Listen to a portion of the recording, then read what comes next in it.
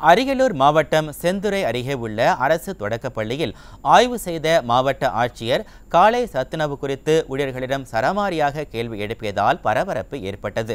செந்துறை அடுத்த நல்லாம்பாளையம் கிராமத்தில் உள்ள ஊராட்சி ஒன்றிய தொடக்கப்பள்ளியில் உங்களை தேடி உங்கள் ஒரு திட்டத்தின் கீழ் அரியலூர் மாவட்ட ஆட்சியர் ஆய்வு செய்தார். அப்போது மாணவர்களுக்கு தரமற்ற உணவு வழங்கப்பட்டது தெரிய வந்தது. இது குறித்து கேள்வி எழுப்பிய ஆட்சியர் உப்புமாவை சாதம் போல் சமைத்திருப்பதாகவும் பொங்கல் போல் உள்ளது எனவும் சாடினார். இதனையடுத்து மாணவர்களுக்கு தரமான உணவு வழங்க வேண்டும் என அவர் அறிவுறுத்தினார். விடியா ஆட்சியில் மாணவர்களுக்கு கூட தரமான உணவு வழங்க முடியவில்லையா என மக்கள் கேள்வி எழுப்பியுள்ளனர். இன்னும் கொஞ்சம் இருக்கணுமா? சேர்ந்து சாதம் மாதிரி இருக்கு பாருங்க உப்புமால இது பேரு உப்புமா உங்க ஊர்ல எப்படி இருக்கும் அது கொஞ்சம் இதா தெரியுது அப்படின்னு சொல்லிட்டு ரொம்ப அப்படி இல்லம்மா.